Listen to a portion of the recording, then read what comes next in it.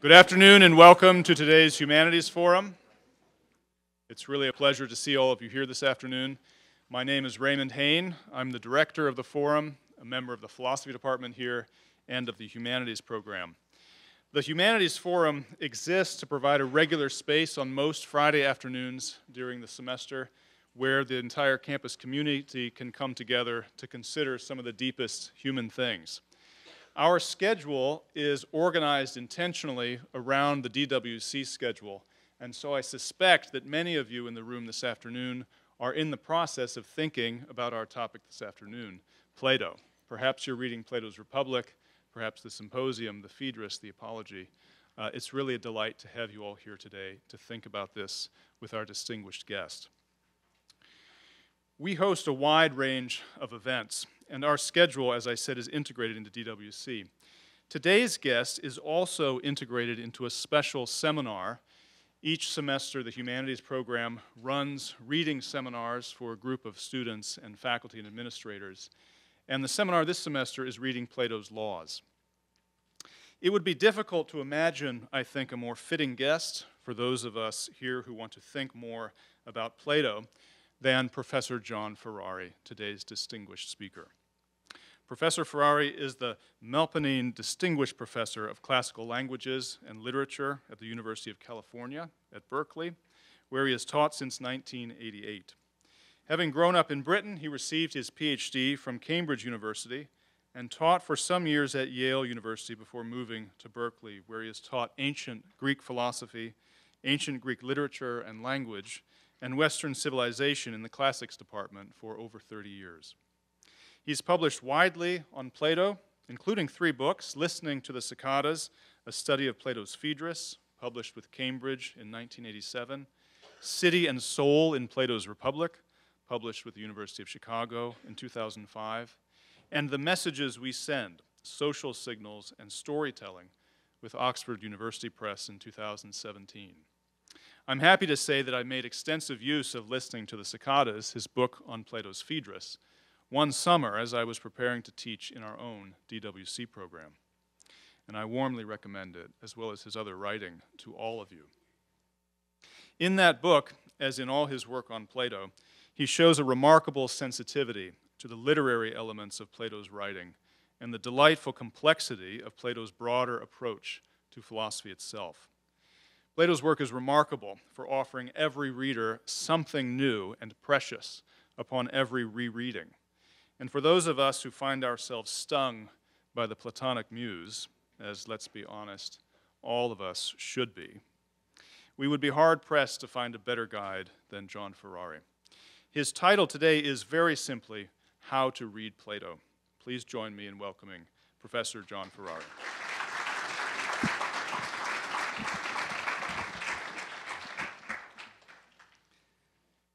Thanks very much, Raymond, for that kind introduction.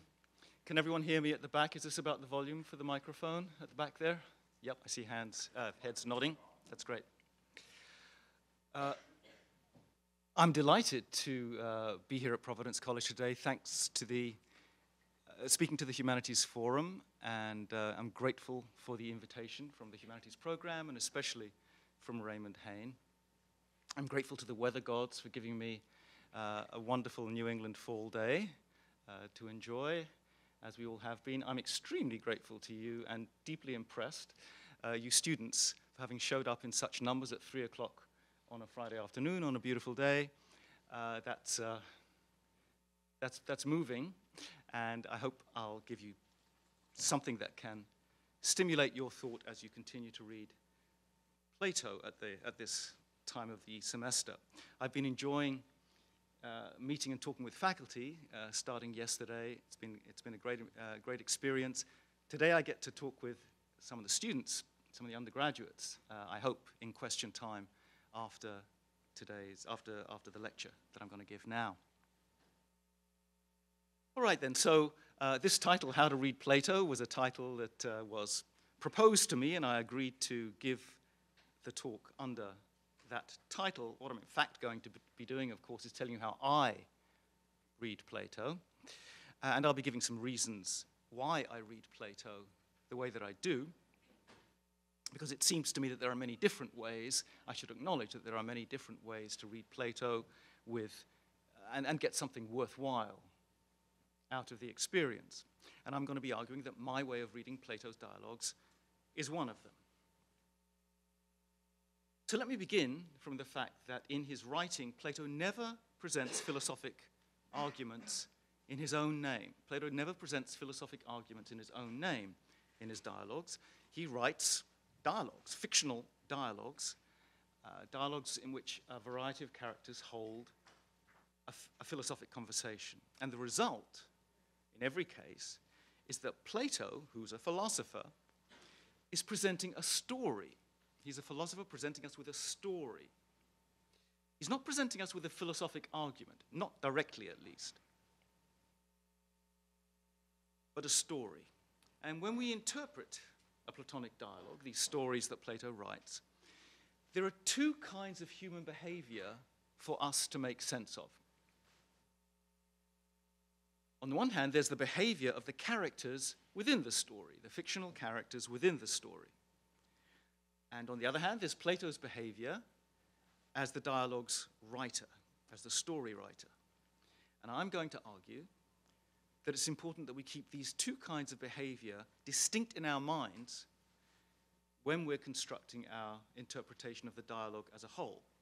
And I'm going to be suggesting to you right now that uh, not everyone does this, so I think it's, uh, so I do want to defend this suggestion for a while before getting to a working it out in an example from a single dialogue. So these two kinds of behavior and keeping them distinct in our minds the behavior of the fictional characters on the one hand, the behavior of the writer of the story, Plato, on the other hand. What I mean is that, look, it's one thing for us to explain why it makes sense within the fiction, within the fiction, for the character Socrates to have made the argumentative move, whatever it is, that he does.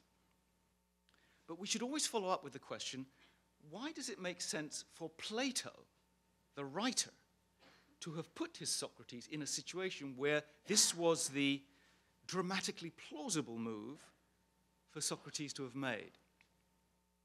The dramatically plausible move for him to have made. Now, sure, at every turn, Socrates, the character within the story, is going to be motivated by the needs of his argument, and also because he's Socrates, he's going to be paying attention to the needs of his conversation partners, something he notably does. He doesn't just he doesn't just uh, pontificate at them. But Plato, uh, as I read Plato, is motivated by the needs of the story. The needs of the story that those arguments, those turns in the argument, go to constitute. And that, um, why is that? Well, it's because from how the story goes, that Plato wants his readers now, his readers, to acquire their sense of what he, Plato, is trying to get across to them. You get, you get at what Plato is trying to get across to you. How? By figuring out how the story runs. Uh, which is to say, not just from how the characters in the story behave, happen to behave, but from how Plato, as far as we can figure it out, chooses, consciously chooses, to make the characters in his stories behave. Now, I know you don't just read Plato, you read all sorts of uh, writers in the Western canon and outside of the Western canon, some of them novel writers and poets. Um, so it may seem to you that I'm stating, the, stating, restating the obvious about stories here, stories and storytellers. Of course, you, you may be sitting there thinking to yourselves, the author is not uh, working this microphone? Okay. All right. I'm going to do my best Mick Jagger imitation now and kind of consume this microphone. I got the mouth for it, you know, I could really. so, look, I may seem to you to be stating the obvious about storytellers here because, uh, you know, of course, the author of a fiction is doing one thing, and the characters in that fiction, who aren't even living human beings, are doing something else. But the reason that I'm restating the obvious when it comes to Plato is that uh, the action of a Platonic dialogue, most of the time, consists in philosophic argument. Philosophic argument is what makes up the bulk of the story, the run of the story. And the fact that this is so has been tempting to scholarly readers of Plato, to, has tempted them to gloss over the distinction, uh, gloss over this distinction that I'm, uh, uh, that I'm emphasizing between the author's behavior and the behavior of the characters within the story. Why? Because, it, because it's true that the soundness of a philosophic argument is something that you can assess in its own terms without paying attention to the motivations of the person making the argument. And so there's been a tendency among philosophy scholars in particular, uh, perhaps more than among classicists, to home in on what Socrates says, the argument that Socrates is making at any time within the action of the story, rather than considering why he said it, and still less on why Plato had him say it. The tendency has been to treat Socrates as a mouthpiece. A mouthpiece. This is kind of like mouthpiece theory, it's sometimes called. As a mouthpiece for, for his author.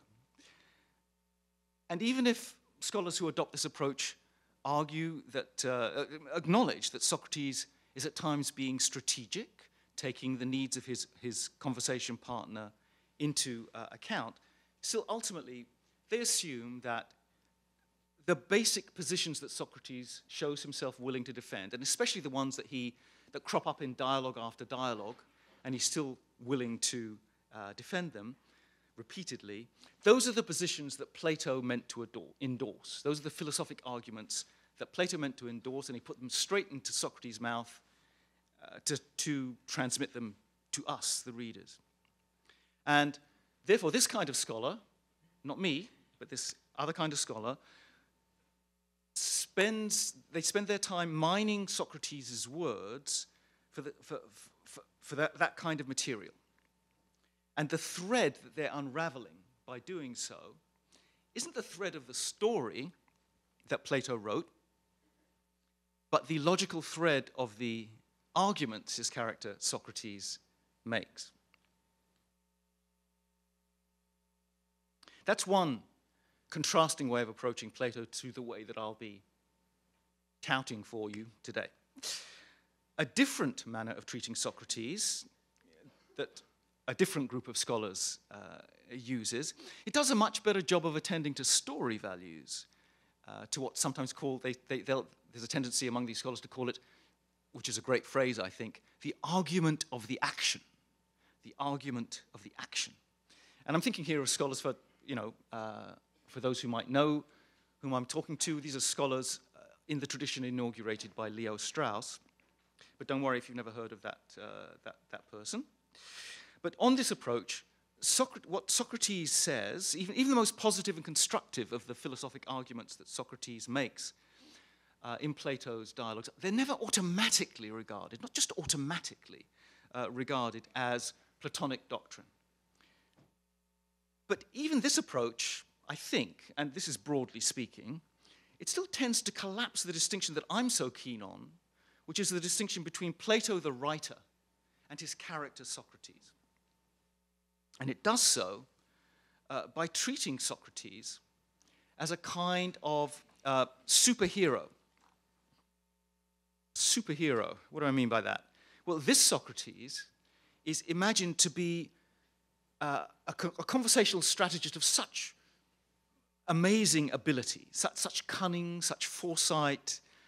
You can't wrong foot, it, foot him, and so on. Uh, that the kind of control that he can exercise over a live discussion, a live argument within the fiction, of course, is the equivalent to the kind of control that his author Plato achieved when he was sitting alone in his study writing the whole thing and I call this, this isn't the mouthpiece approach to Socrates, I call this the secret agent. Socrates' secret agent approach. So Socrates behaves as if he were Plato's undercover operative within the dialogue, manipulating the conversation on Plato's behalf and knowing everything his author knows. Knowing everything that his author knows. And there I, and, and my approach differs in a way that I'm going to give you an extended example now uh, so as to illustrate. But let me just say, before I turn to that, that uh, let me just acknowledge uh, there's no denying, you know, for this Socrates as superheroic, uh, as, as, a guy with superhe- superhero powers when it comes to argument, there isn't any denying that Socrates in the dialogues that you're reading uh, has a certain Sherlock Holmes quality to him. You know, he is pretty astounding. Um,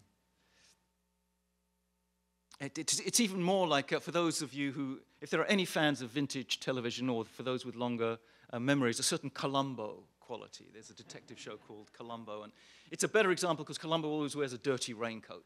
And uh, Socrates is famously disheveled and doesn't care at all about his, his clothing. But they have the same kind of, let me just ask, I can't do the New York accent, but let me just ask one little question more, says Columbo on his way out, just when the, uh, the victim thinks he's got, getting off scot free, and then he comes, he's a detective, right? And he, then he comes back and just destroys the guy. Uh, yeah, Socrates does have this uh, quality, but I would urge us all not to be distracted by this uh, quality that Plato gives him, not to distract us from the limitations that are imposed on Socrates by the need to argue live, which is what is portrayed within the, within the story. And that's what I'm going to emphasize because, and why? Because I think Plato makes hay out of those. He uses those limitations. He makes them salient uh, for the reader. And why? So that he can invite us to overcome them for ourselves. Overcome the limitations under which Socrates, who is arguing live, works. Overcome them for ourselves because we are not arguing live. Plato is not arguing live. Plato is writing for us, and we are reading him. And it's from the reading that we give of Plato that we come to the philosophic understanding that Plato wants to get across to us, such philosophic understanding as he can get across uh, to us. So, what Socrates says and does within the story needs to be supplemented. If we're ever going to get a good guess for ourselves of what Plato is trying, what Plato is trying to say and do. Um, and, and, quite apart from playing up the limitations on, what on, on live argument, I think that Plato was alerting his readers uh, more broadly to urging us to supplement what Socrates says and does when he chose to give his dialogues the, the literary razzmatazz that he does. They're really brilliant works of literature. Uh, and uh, th- that alerts us to the fact that, look, the voices you're hearing are voices of literary characters, not the voice of Plato. So, uh, and Socrates in particular is a convincingly written character. So don't, Plato is warning us, don't treat him as my mouthpiece. He's, my he's a character that I wrote. Attend to his voice, and then try and listen behind Socrates' voice for my voice, my Plato's voice. That's what I think is going on. And that's what I want to say, that's all I want to say on a general level about how I read a Platonic dialogue.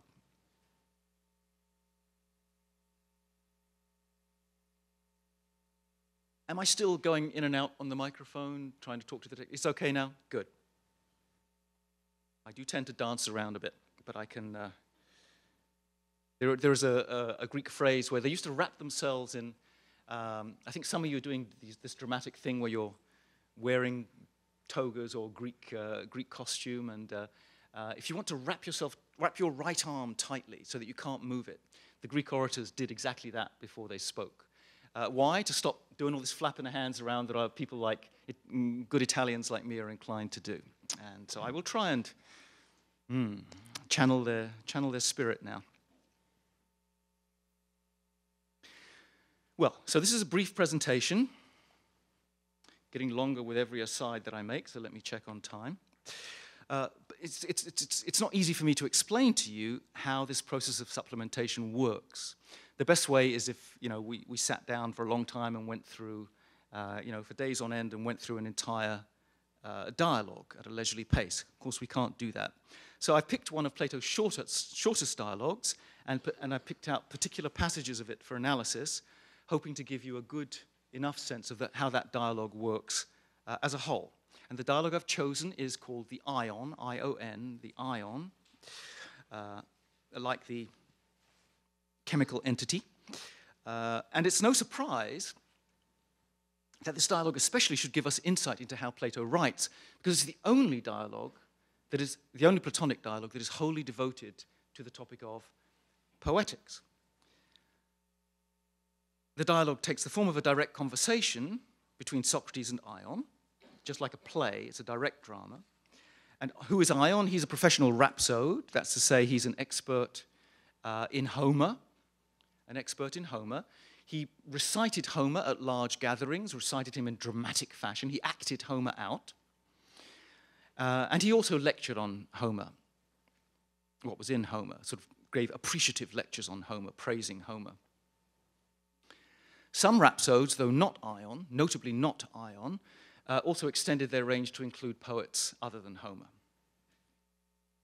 The dialogue's constructed like a sandwich uh, in between the two slices of bread, uh, which are the two typically Socratic interrogations of Ion that occupy the first and final thirds of the dialogue, comes the tastiest part, a, uh, the part with the strongest flavor, which is a rhetorically and poetically high flown speech, uh, and very untypical of Socrates, uh, that, uh, that Socrates delivers on the subject of poetic inspiration, and that comes in the central third of the dialogue.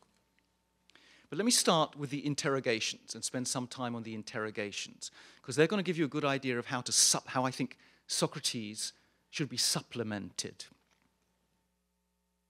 So the interrogations take aim at what it means to be an expert what it means to be an expert on Homer. Does being an expert on Homer amount to being an expert, asks Socrates, on the, the topics that, Homer, that, that, that are there in Homer's poems?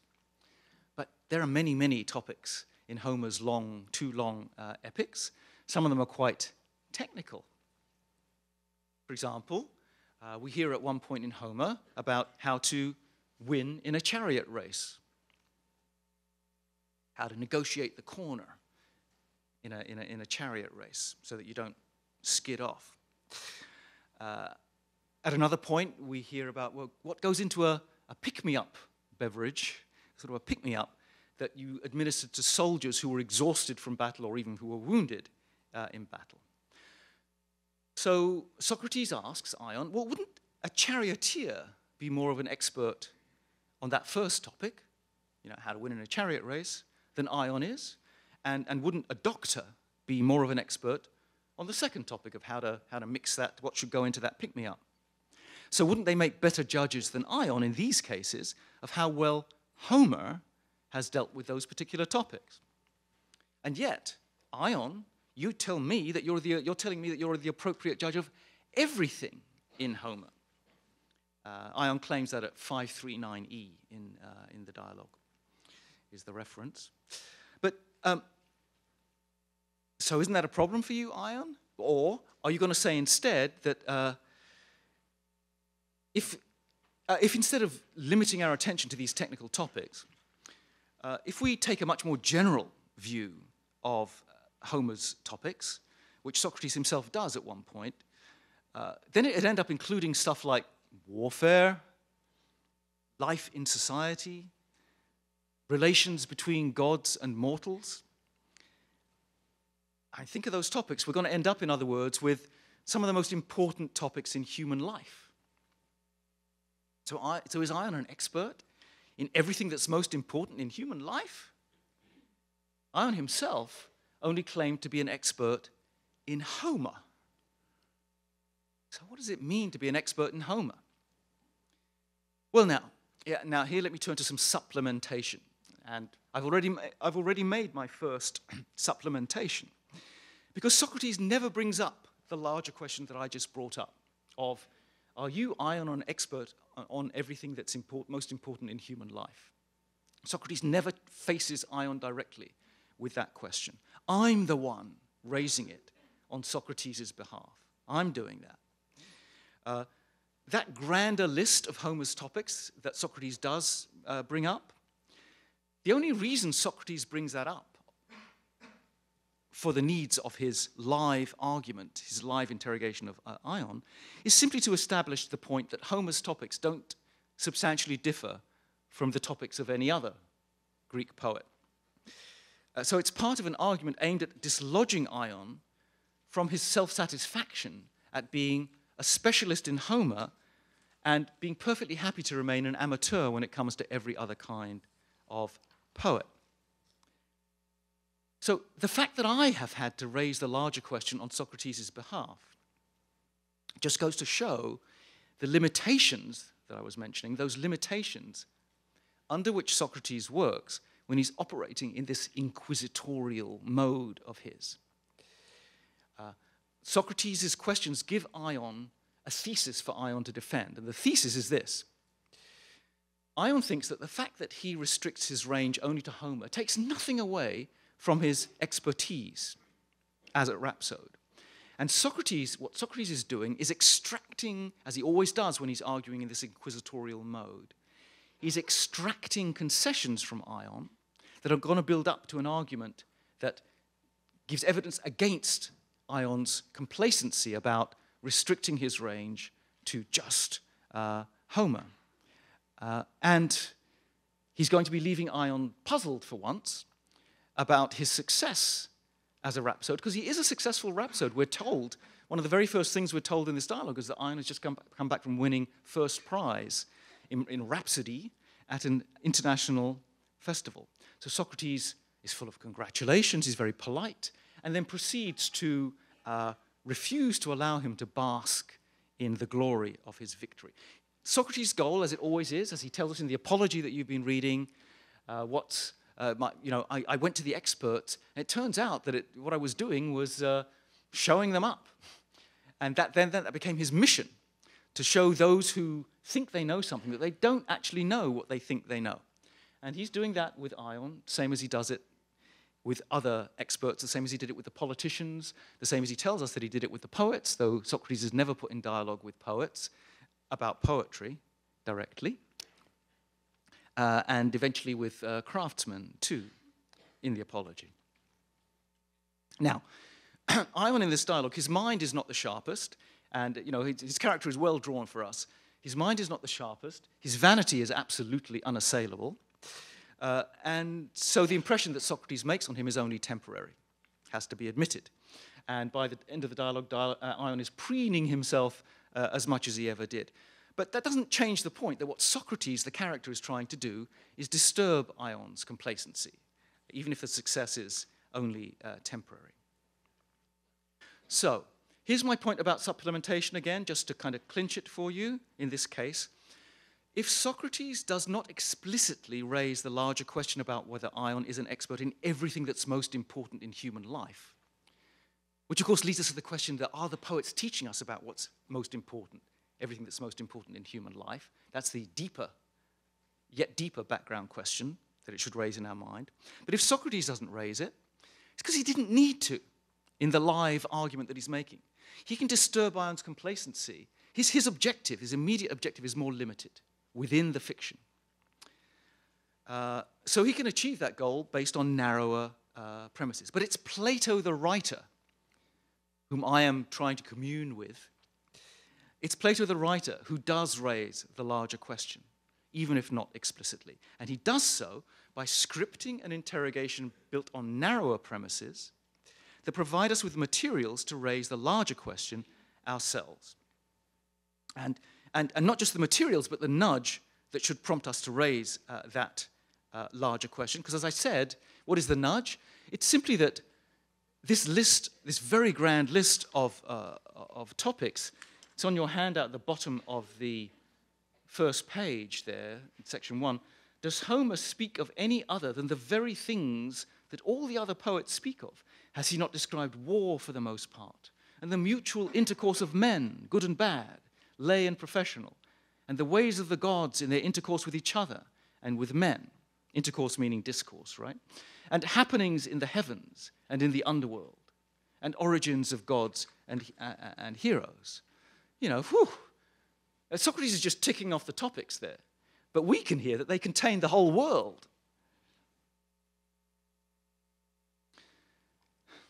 so at this point in the dialogue, actually, where that quote comes up, we've just been told that a seer, a diviner, would make the best judge when the single specialized topic of divination crops up in poetry, because the seer is an expert in divination. And now, immediately after that, how does Plato write this?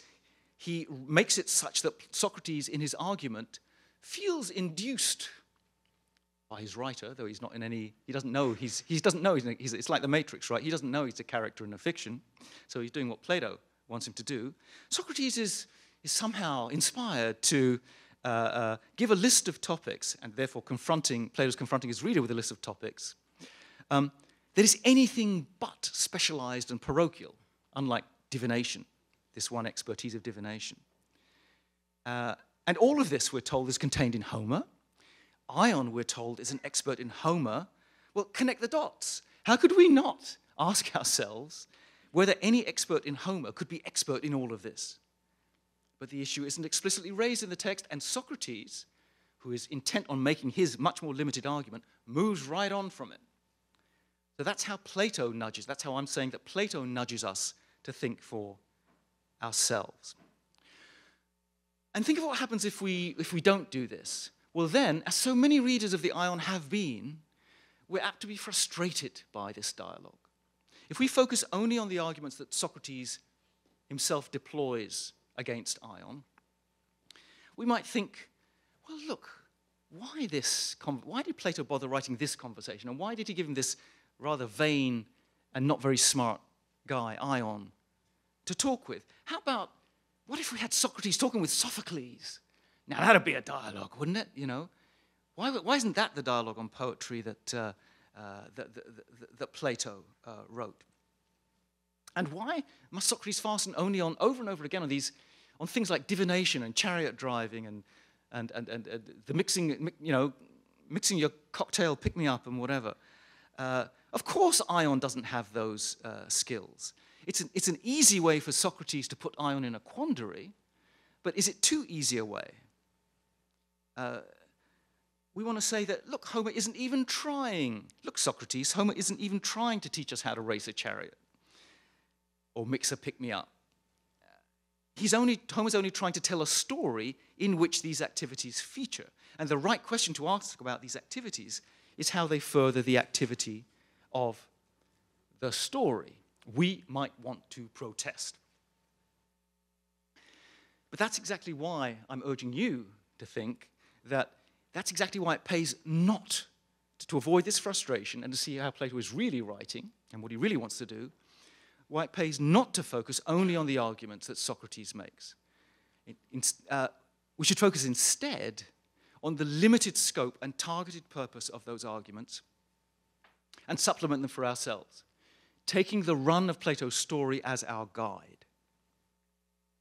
So, now I'm going to turn to the end of the ion, the end of the story, where the discussion is allowed to founder, collapse, over Ion's insistence that he's learned the craft, he knows how to be a general. And he learned that uh, from Homer. And if we turn to that, a deeper point is going to emerge about poetics than Socrates' rather narrow line of questioning seemed to promise. And um, this, is, uh, this is in um, section two. The text that I'll be dealing with and won't be reading all of is section two of your, of your handout.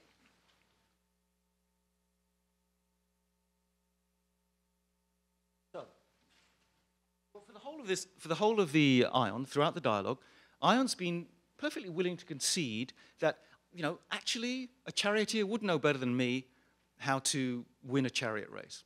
A doctor would know better than me how to deliver a reviving uh, drug to someone. But at last, there comes a moment where he digs his heels in, and that's here towards the end of the dialogue. And Socrates has given Ion a string of questions, uh, which are in the text on the handout, a string of questions that challenge Ion's claim uh, that the rhapsode will know uh, the sort of thing. Yeah, uh, this isn't in. This is what introduces this uh, stuff in part two. Ion claimed to know, this is at 540b if anyone has the dialogue in front of them, 540b, quote, what sort of thing is appropriate for a man to say, and for a woman to say, as well as for a slave and for a free person to say, or a subject and a ruler, unquote. Now, why would Ion suppose that his expertise in Homer, reading Homer, has given him this kind of knowledge? Well, think about it. Imagine he's asked, uh, What sort of thing is appropriate for a woman to say, Ion? He could say, Oh, I have a wonderful quote to show you that, show you what sort of thing is appropriate for a woman to say. And out he trots with, say, the tender farewell that Andromache, the wife of Hector, gives to Hector when he has to go back into the uh, battlefield. Or he could give some choice lines from Penelope, the faithful wife of Odysseus, waiting for Odysseus uh, at home, and so on. There are women that knew, know, and then he could, he could uh, close by saying, that's, that's what a woman should say. That's, that's how a, a good woman should speak. Uh, now, to respond to that, Socrates again is relentlessly inquisitorial and he comes back by focusing on technical skills. Frustratingly for us, if we think that if we're just trying to evaluate how good an argument is Socrates making here. Then we're just going to end up thinking Socrates is making a lousy argument here. But if we don't do that, so let me show you what, what else can happen if we decide not to do that. So this is Socrates now. You're telling me, Ion, that you've learned from Homer what is appropriate for a ruler or a slave to say?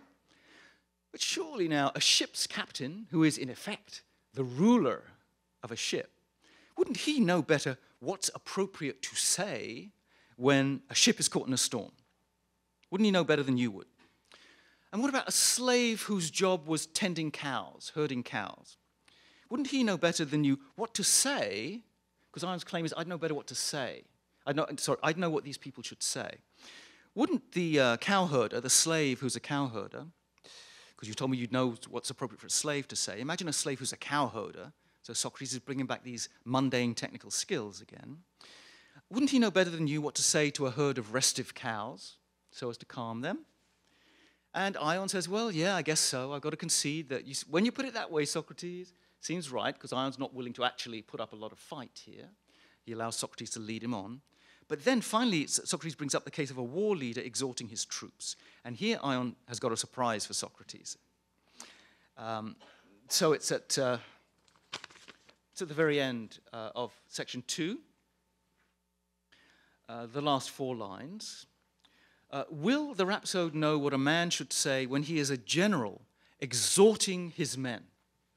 Yes, that's the sort of thing a rhapsode will know. Well, but is the art of the rhapsode, Socrates seems a bit nonplussed, is the art of the rhapsode the art of the general? And Ion, well, I at any rate would know what a general ought to say? It's a very careful answer. Socrates, you weren't asking me whether I know what a, what, how to be a general. You were asking me, would I know what a general should say when he's a general exhorting his men, giving a speech of encouragement to his men? Well, yes, I at any rate would know what a general ought to say. Nice, careful answer from Ion, uh, which is unusual for him, and I think that's Plato's hint to us that Reader, wake up here and notice how carefully Ion answered, and therefore notice that this is the nub uh, of the issue, uh, of, or at least one nub of the issue that I'm getting across to you. So the assumption behind Socrates' surprise response is this that a person who knows what is appropriate for a general to say when exhorting his troops uh, would be someone who knows what to say because he has the skill of, of a general. He's a good general. That's what would qualify him to know what to say. And Ion therefore gives a, a careful reply Well, I know what he should say, whether or not I'm a general. And that is the issue because, look, you can know, the issue is this you can know what sorts of things an expert would say for two different, very, very different reasons. One is because you possess the actual expertise. You're an expert, and so you know what an expert should say in situations involving your expertise. Alternatively, you can appear, you can, and merely appear, to possess the expertise because you know what sorts of things an expert would say. Now, with skills like herding cows or steering a ship, the expertise clearly involves more than just talk. You wouldn't last five seconds if all you could do was talk the talk and you're trying to run a ship or, or herd restive cows. Uh, but with other jobs, the situation is less clear. Uh, now, Athenian generals, it's true, uh, like Homeric commanders, they did see action on the battlefield, but uh, in, um, sometimes they were primarily political, political leaders. And uh, there was a political and strategic aspect to the general's skill. Pericles was a general, and we think of him as more of a, uh, of a politician. Uh, and, and what's more, Socrates' original question was would you know what a general would say when exhorting his troops, when giving a speech uh, to his troops? And Homer's Iliad is full of speeches like that. So I could just trot out, well, I know what Homer would say. Homer's given me the words, right? Ain't that good enough? I could give a great speech to my troops and then send them out uh, to do battle. Now, in the remainder of the dialogue, Socrates does then proceed to demolish Ion's, uh, the idea that Ion's knowledge of Homer could actually make him a good uh, general, if only Athens had the sense to, to make use of his services in that regard. But uh, Ion does, uh, you know, those arguments don't bring up the nub of the issue directly, as so often with Socrates. But it becomes clear when Ion fights back for a while, before giving up at the end, uh, that Ion is willing to entertain the thought, anyway, that being a good general amounts to nothing more than knowing what to say in wartime, and that Homer provides the best models of what to say and what not to say. Uh, an assumption that, Ion, that Socrates does not directly uh, attack, but that the action of the dialogue raises for us as what Plato, as part of what Plato is attacking. And here there's something you should know about uh, Athenian culture at the time. Uh, if we think back to the list of those grand topics that Homer shares with other poets, we remember that it includes um, the social intercourse that human beings and gods engage in, uh, and in the same way that a general would know what to say in wartime, because he's an expert war leader, a person who's been properly acculturated, uh, has developed a sense of social propriety, knows the mores of his society, would know, more broadly, what is appropriate for a man or a woman to say, a free person or a slave, a ruler or a subject what they should say in their dealings with each other in society, in their personal dealings with each other.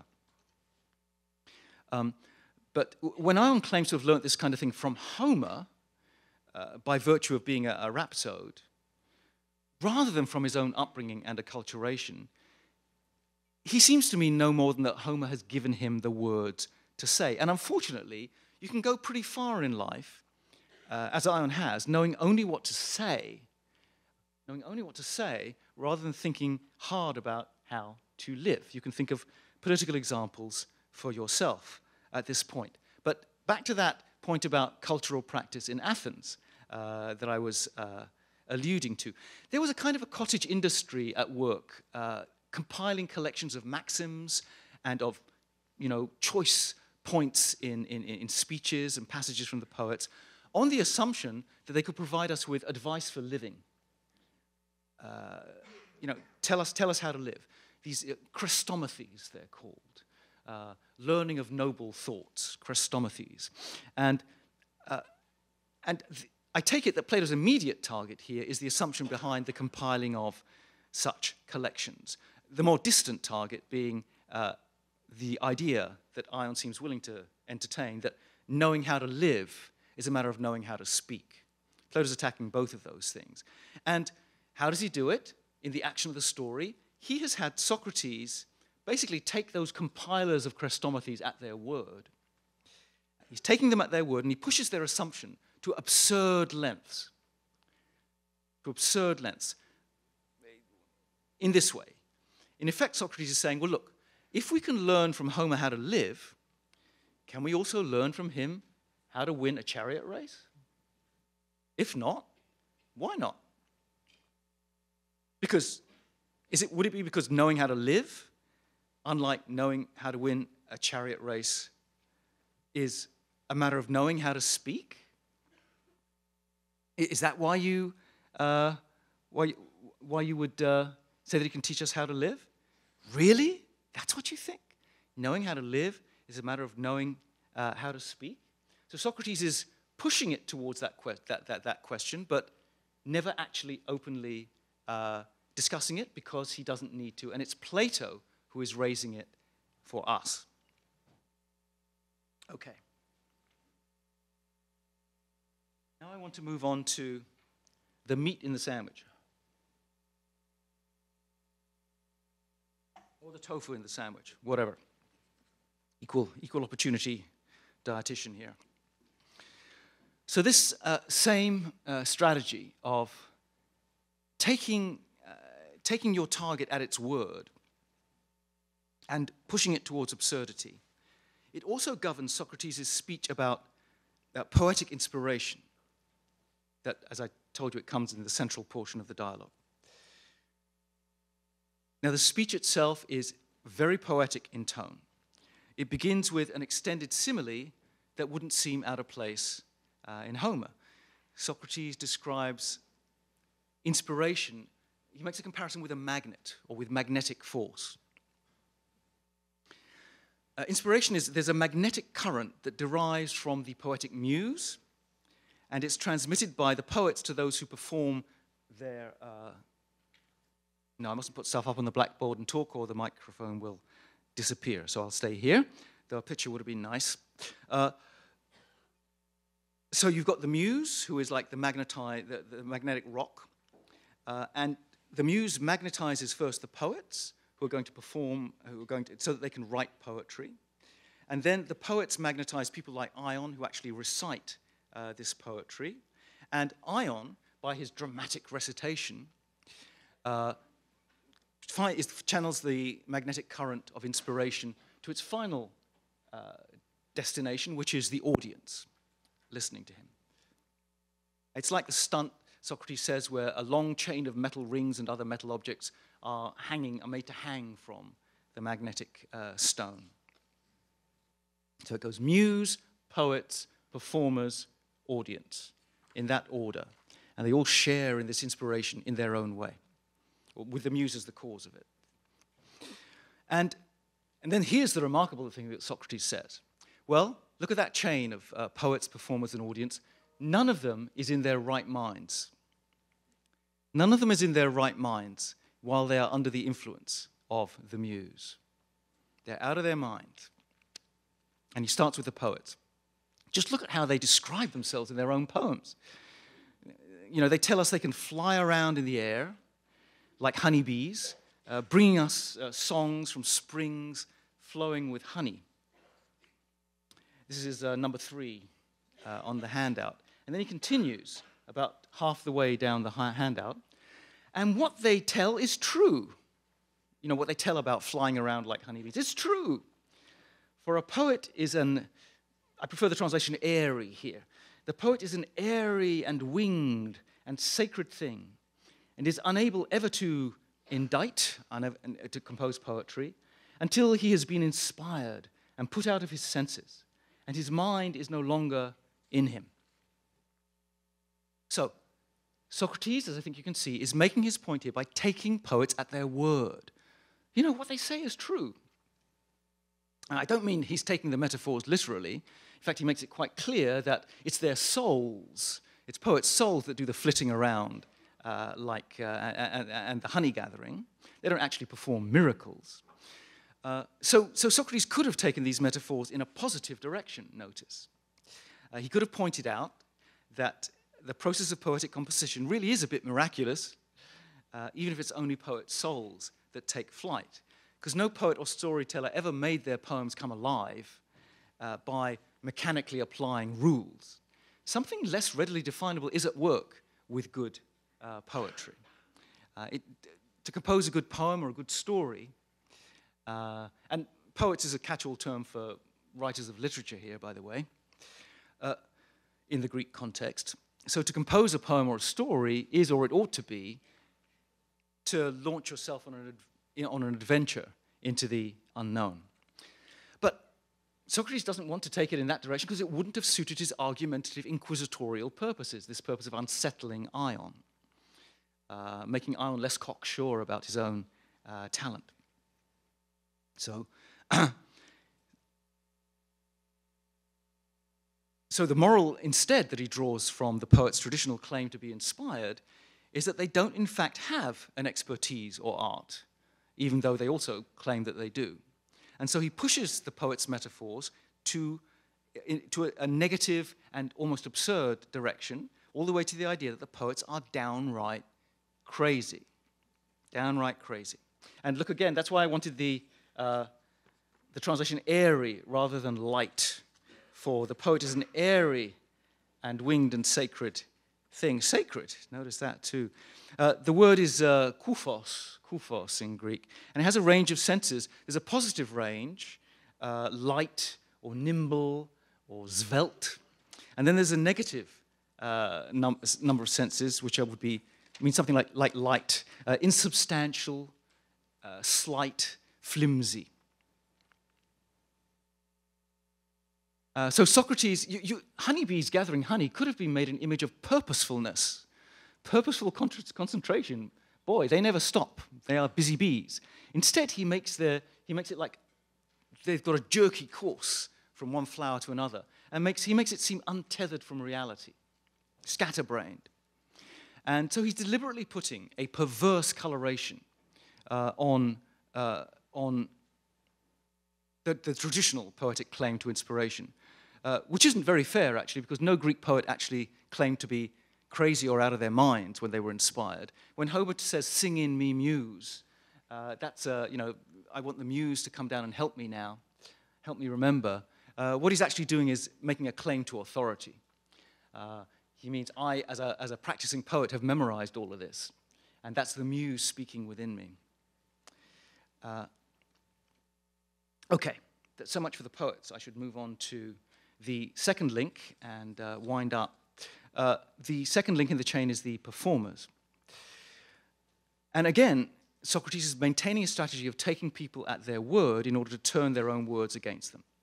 So he interrupts his speech at one point to ask Ion how Ion feels when he's performing an especially exciting or especially poignant scene. This is number four on the handout. Especially exciting or especially poignant scene in Homer.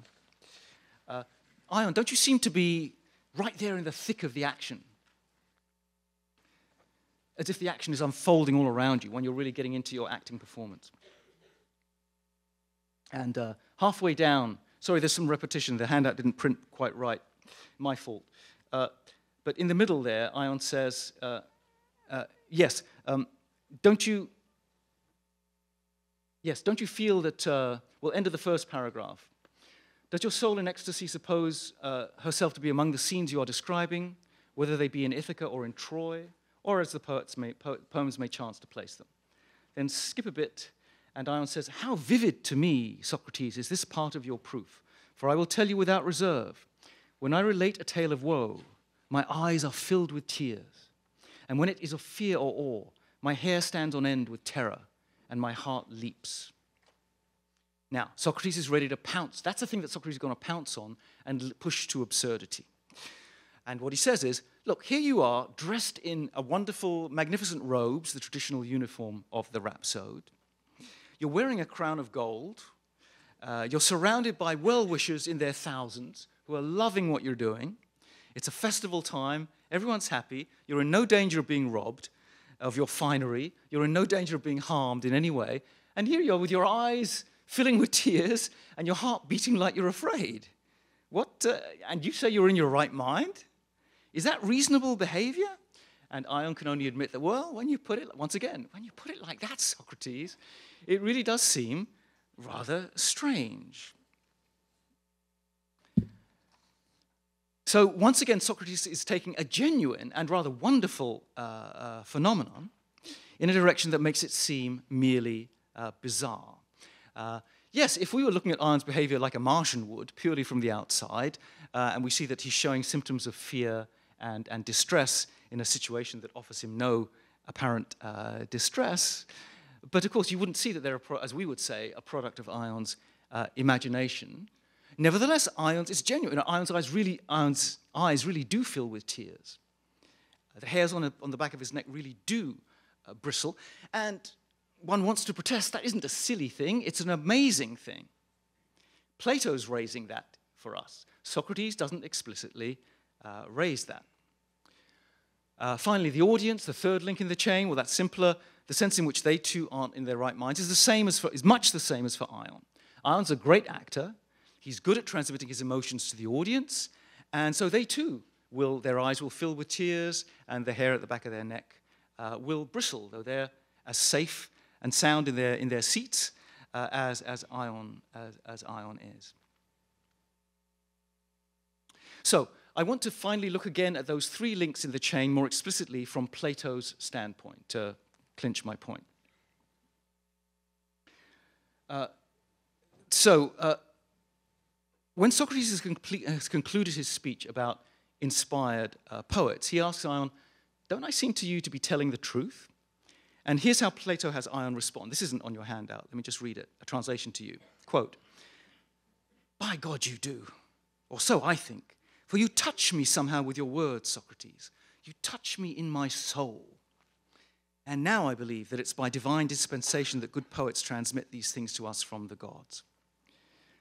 So Socrates has used many of the devices of poetry in his speech, and the poetry has obviously enchanted his listener. Ion has been bowled over.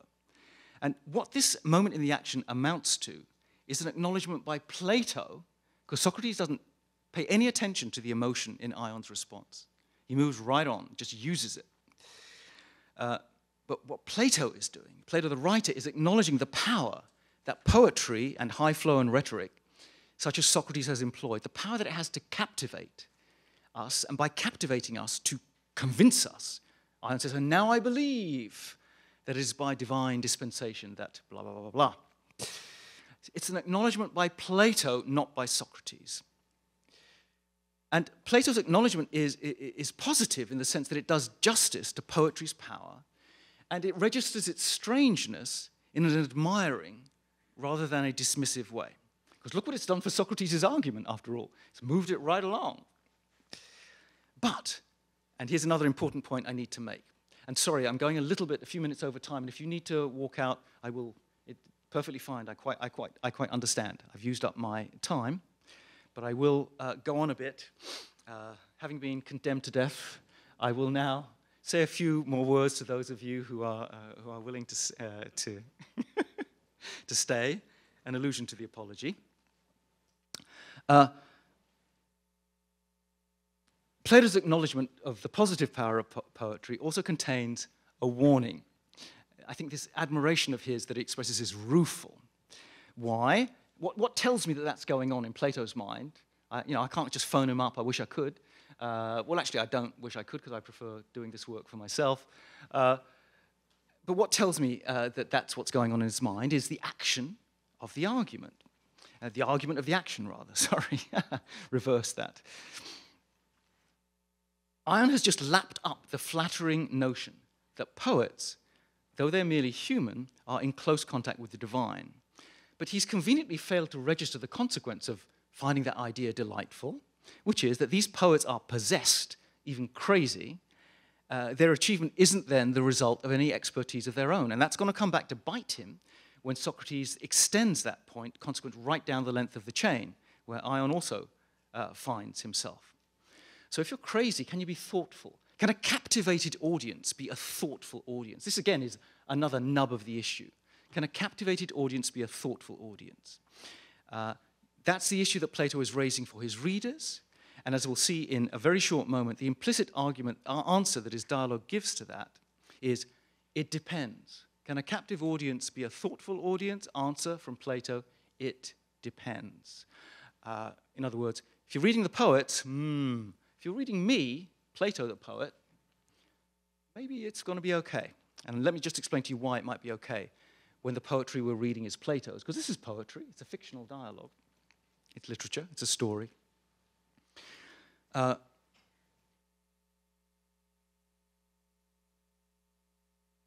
so the problem for the, let me see, I really do want to cut this a bit short for you.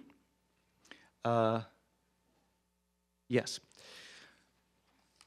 So Ion deserves credit for his performance skills, and Plato gives him his due. But the acknowledgement comes with a warning. The onus is on Ion, another warning, as a professional, to maintain. So Ion is able to concentrate on the audience. There's a bit in the dialogue where he says, uh, I need to uh, keep my eye on them while I'm performing, because if I can keep my eye on them while I'm performing, even though my eyes do fill with uh, tears, uh, if I notice that I'm really gripping them, uh, you know, here am I standing behind a microphone, making my eyes move over uh, the audience as I've been, instru- I've been told to do so that I can register how much, uh, how much I'm getting through to you. Ion is doing the same thing. That doesn't mean that the sweat isn't trickling down the back of my shirt right now, right? I mean, I'm genuinely engaged. The emotion is there. Same thing with any, uh, same thing with any performer. Uh, it doesn't take away from the genuineness of Ion's involvement with the action that he is uh, keeping a careful eye on the audience and trying to make them genuinely uh, involved. But for the audience, who also then he gets inspired in this way, they have no such burden of responsibility. And all they're feeling is the emotion, maybe on the cheap, maybe not thinking about it, maybe being damaged by it. Ion's actually in a better place than the audience. That's the warning, I think, that Plato, the action of the dialogue, is transmitting uh, for, uh, for us. And this then is my final point. How does Plato escape his own strictures on poetry? Plato's Ion also is a story. And in this case, it's a story in dramatic form. How does he avoid those dangers of telling, of, of telling a story to an audience? Well, there's one very simple point you can make, which is that the storyline in a Platonic dialogue is the progress of a philosophic discussion. So that's a much tamer matter. You've got to be a certain sort of person to want to open a book, uh, open a story that, you know, that is, uh, whose content is a philosophic discussion. You know, if you're going to go to a movie like My Dinner with Andre instead of, uh, instead of uh, which is just one educated conversation around a dinner table, uh, the action of the movie, rather than Star Wars or something, uh, then that's going to attract a more thoughtful kind of person. Plato could well have thought to himself. But I think we should admit to ourselves that Plato can't completely avoid the dangers and doesn't expect to completely avoid the dangers. Uh, the Ion is a comic dialogue, and its comedy is really quite funny. Uh, with Socrates' speech on inspiration, the Ion becomes a poetic dialogue, and its poetry is really quite memorable. Now, for many a reader of the Ion, that's enough. And so be it, says Plato to himself. The real points that Plato wants to make about the dangers of poetry in this dialogue, dangers that are themselves at the same time like a testimonial to poetry's remarkable power, they're points that Plato the writer shows us not points that Socrates' character tells us. Plato, the writer, shows us these points. They're not the points that Socrates, the character, tells us. And that being the case, Plato is at the same time able to make what is perhaps his most important point about poetry, which it turns out is a point in poetry's favor. Please note, a point in poetry's favor, which is this, as I read what Plato is trying to get across to us in the Ion. From poetry, from literature, we can learn without being told. From poetry, from literature, we can learn without being told. We can learn for ourselves by seeing what is shown. And in the Ion, what we learn about is poetry itself. But it takes a thoughtful reader to see what is shown, because before we can even can see what is shown, we have to see that something is being shown. We have to see that something is being shown, shown rather than told. And not everyone does see this. The mouthpiece theorists don't see this. So be it. Plato write, is writing then in a way that gives some pleasure and does no harm to those who don't or can't see what is shown, while doing good to those who can. Thanks very much, and thanks for your patience.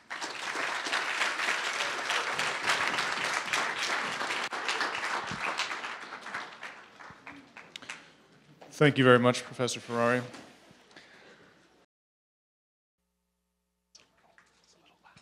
Okay.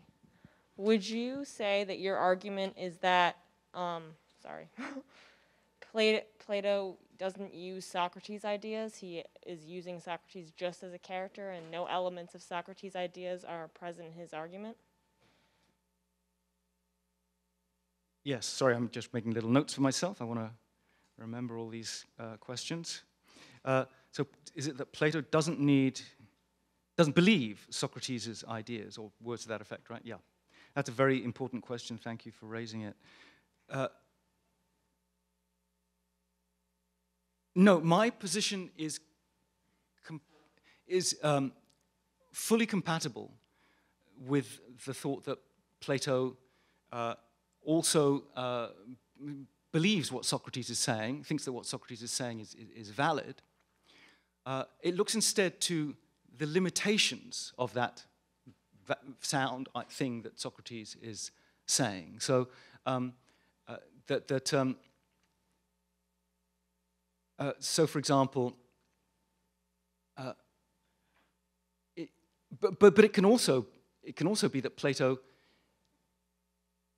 doesn't, uh, Socrates can say things that Plato wouldn't endorse, as well as things that Plato would, because Socrates can use um, provocative, uh, provocative arguments that his opponent doesn't succeed in responding to.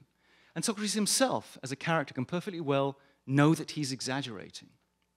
So when Socrates says, look, these poets say they're crazy, what about that, Ion? It Doesn't mean that Socrates himself has to believe uh, that poets are that poets are crazy.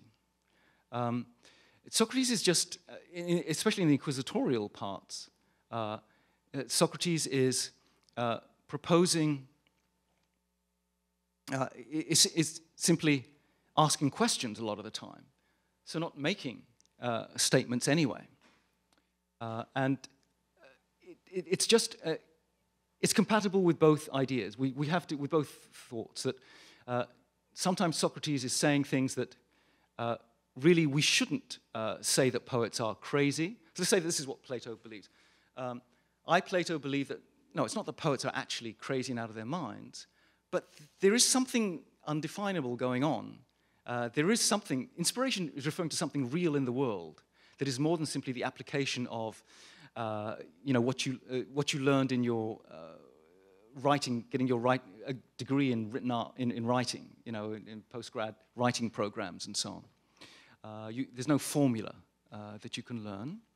Uh, and if Socrates is even wanting to uh, allude to that and Ion just doesn't get it, or if Socrates is uh, wanting to simply uh, unsettle Ion and therefore doesn't have to draw out that consequence, then uh, that, that doesn't matter. What matters is that then it's perfectly okay for Socrates because we acknowledge his limited purpose.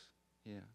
Uh, so, um, but a lot of the time, I mean, think, I think most of the time, uh, especially in a dialogue like the Republic, Plato is going along with what Socrates is saying, but he's he keeps on in the Republic, for example, he keeps on getting him interrupted and diverted from his argument.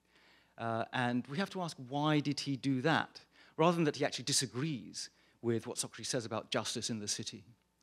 Uh, uh, so I don't think uh, Plato is, I, I, don't want to ironize Socrates, or Socrates, I certainly don't want to say that Socrates means, doesn't mean what he's saying, and neither does Plato.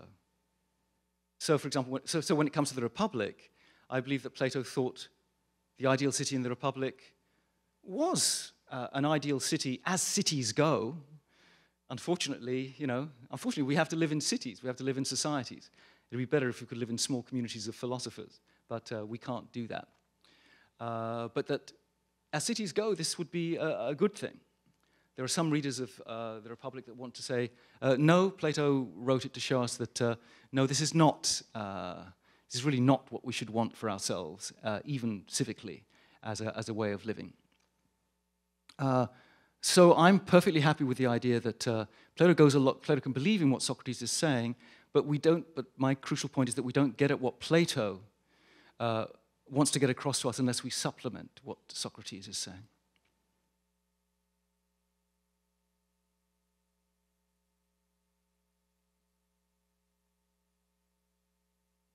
Um, if he's using fictional dialogue, then why does he use non-fictional people? Why doesn't he also make them themselves fictional so that they have no ideas of their own to like conflict with his? Yeah, another, that's a nice question. Uh, you know, I kept saying Socrates is a fictional character, but he's a character in a, fic- he's a character in a fiction. but he's a, he's a guy that really lived. Uh, one thing that's gained by um,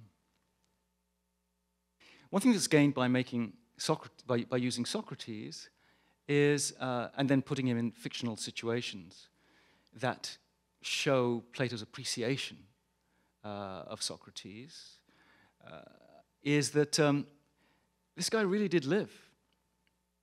And, you know, he was the most just man that ever lived. And he really did live. and that should be encouraging to us. Uh, we can have faith that uh, this guy came to earth uh, and was among us. Uh, so I think that's uh, part of it. And other, other parts of it are, you know, there's a lot of Athenian politics going on for Plato's contemporary readers. Uh, that and acknowledgments that Plato wants to make. Plato, Plato's family was involved in the in the in the oligar- in the tyranny that uh, the junta that took over Athens and led to terrible, terrible suffering. Uh, Plato was born with a historical and political uh, legacy, and he may have been working that out. It seems certainly, surely, uh, there's an element of his working that out by using real characters from that time. Things like that is what I, I imagine. John, I'll, I'll call on myself next. Thank you so much for such a thoughtful uh, reflection this afternoon. You spoke at the end about the power of literature to teach by showing, uh, to teach without telling, which I think raises lots of interesting questions for us. I was wondering if you could speak a little bit to how you think of the relative value of literary showing versus philosophical telling. Uh, and is that perhaps an argument ultimately in favor of poetry over against philosophy? Yeah. Very important question. Thank you, Raymond.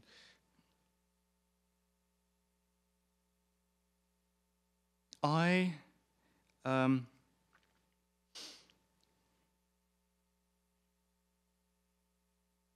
I, I think that I think of Plato as a kind of philosopher who acknowledged that engaging in philosophic argument is how is a large part of how the philosoph philosophic life is, is spent. I mean, that's what you do uh, as a philosopher, but who also thought that you must never let the philosophic telling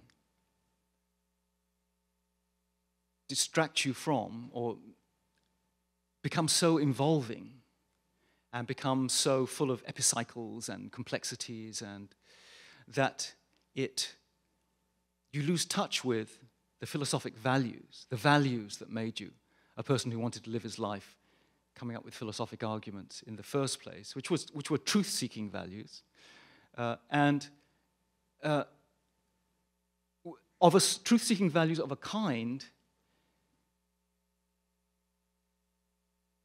that could define your entire life, your moral life as well. Uh, and, un, and, and never become merely um, a hermetically sealed discipline like mathematics is. And that's why mathematics is subsidiary to philosophy and a vision of the form of the good in the Republic. And why I think uh, Plato, in his later dialogues, writes them to remind people in his academy uh, of the values that lie behind philosophic, uh, philosophic telling. But to answer the question you ended up with, which is is literary showing superior to philosophic telling? I will confess to a, a, danger that I think my own practice of reading Plato is susceptible to, which is that I spend most of my time, uh, I feel a bit like, you know, standing to Plato as Ion stands to Homer here now. Uh, I spend most of my time figuring out what Plato is showing us through the literature, through, through his uh, literary writing. But I also believe that you know, I've raised things and said, and here's the nub of the issue. And if I were a philosopher who wanted to spend my life in philosophic telling, uh, I would set aside my lecture at that point and said, and now let's discuss it. Let's, let's argue that out about uh, whether it's enough to talk the talk uh, or not, and uh, how many, into how many parts of human life does that ramify, and um, you know, I'd sit down and write a theory of justice or something, you know, and I don't do that in my professional uh, in my professional life. So I do think this is a long-winded way of saying I do think that Plato is urging us to go out and then learn for ourselves by arguing among ourselves. We don't go out and learn for ourselves by writing literature. So, in that sense, I do try to cling to the idea that the writing is preliminary to, well, no, I don't want to devalue literature to that extent. That the writing without, because the literature is doing this hugely important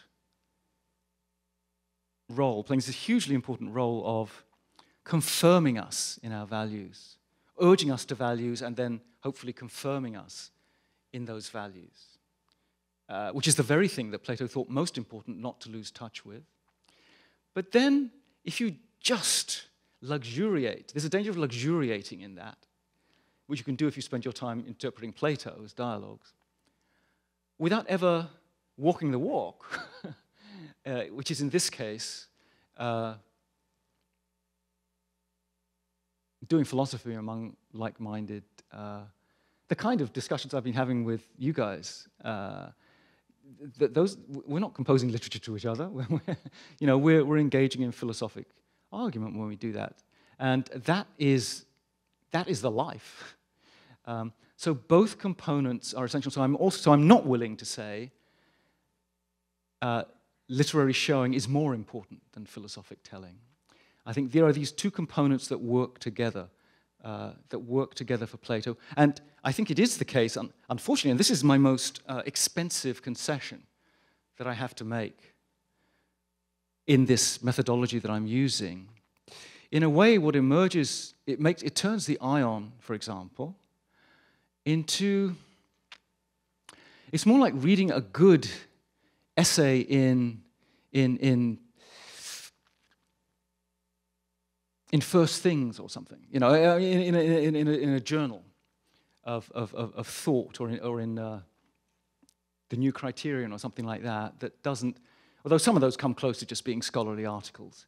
But it, it, it, in a, or maybe, maybe even like Vanity Fair, you know, it's, it's more like a, a, a really good essay in, uh, in one of our good magazines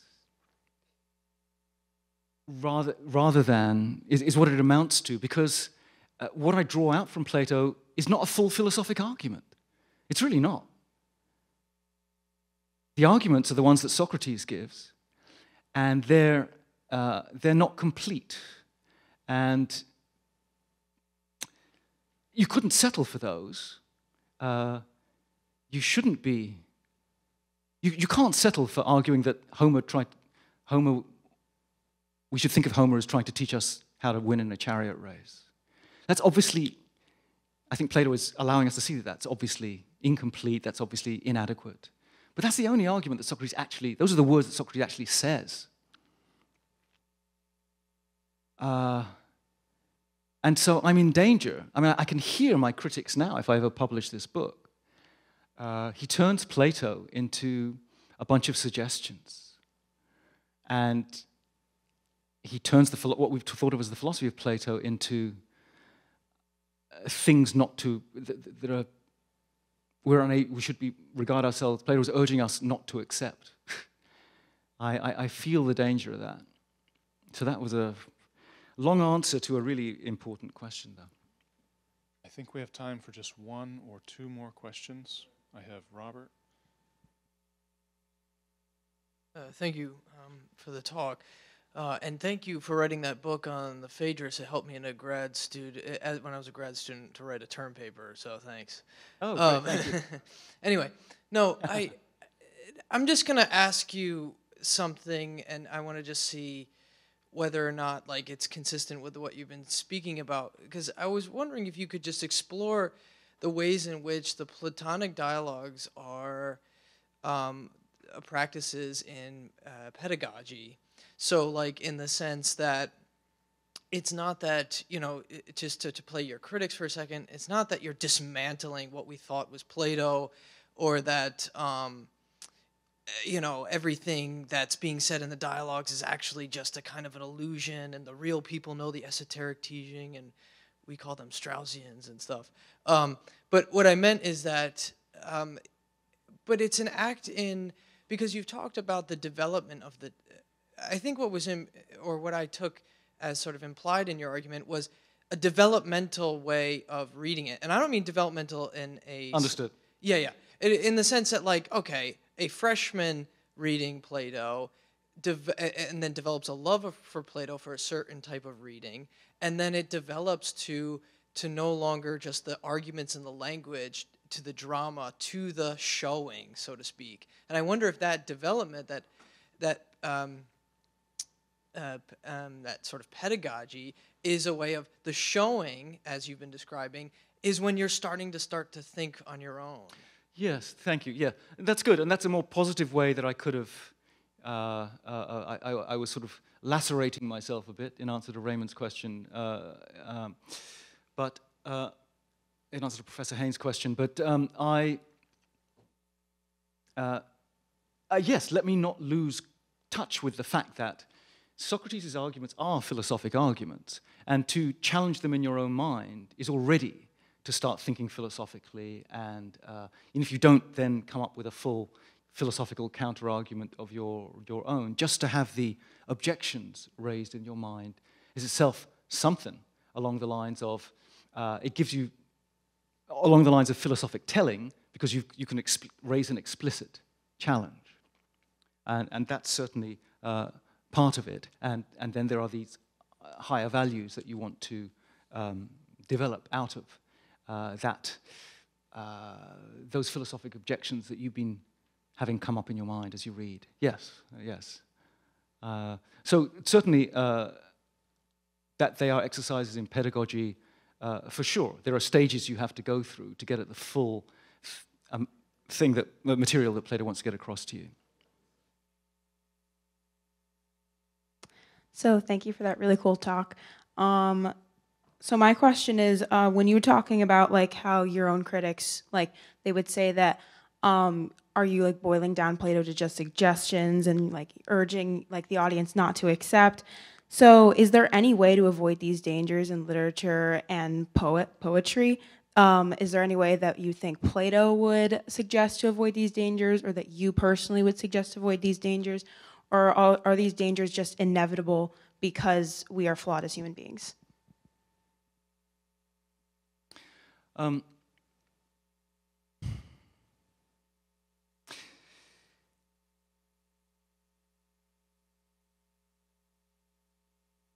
it the danger is just that I'm not going to have neatly separable arguments to present to the philosophy professors and say, now go and write your article challenging premise, premise two or premise one, uh, and, and sink your teeth into that.